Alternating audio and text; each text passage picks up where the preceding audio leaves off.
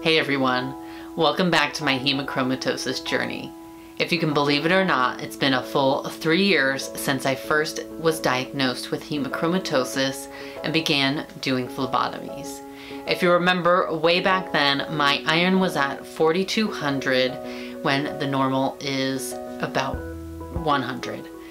And so I began a three year journey of consistent phlebotomies to get my numbers down. And in April of 2019, when I had my last test, my numbers were at 300. Since then, I've been doing a phlebotomy per month, and I just took a ferritin test yesterday, and I am waiting for the results. I was thinking about the last three years, and you may have seen some videos on my journey, how to prepare for a phlebotomy, the symptoms and changes I've been feeling through the years but I wanted to give you a little more context or a different look at it, so I went and crunched the numbers. In three years, I've had 72 phlebotomies, which averages out to two per month, every month for three years. Now, I had been going weekly, bi-monthly, monthly, but to average that consistent twice a month for three years is how I got my iron down by 4,000 points. When I say phlebotomy, I have always called it a fancy blood donation, but I went and crunched the numbers on those too. So every time I have a phlebotomy, I give 500 milliliters of blood. And over those 72 phlebotomies, that totals 36,000 milliliters of blood given or 9.5 gallons. Can you believe that? Unfortunately, my blood is thrown away due to my sexual orientation here in Arizona and across the United States.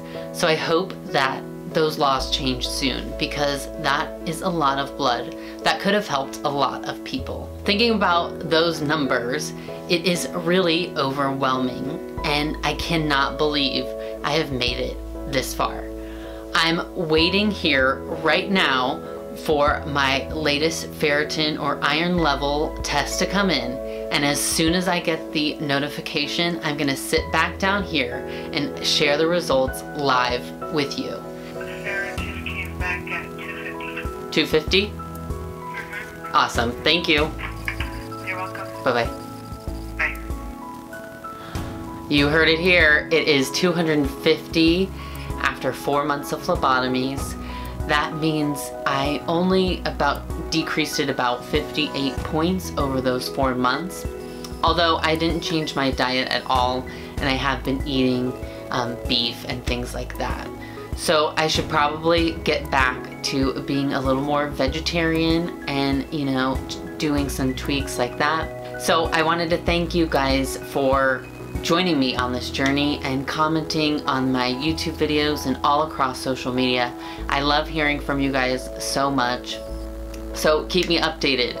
I will keep making videos and sharing what I learn along my journey with hemochromatosis.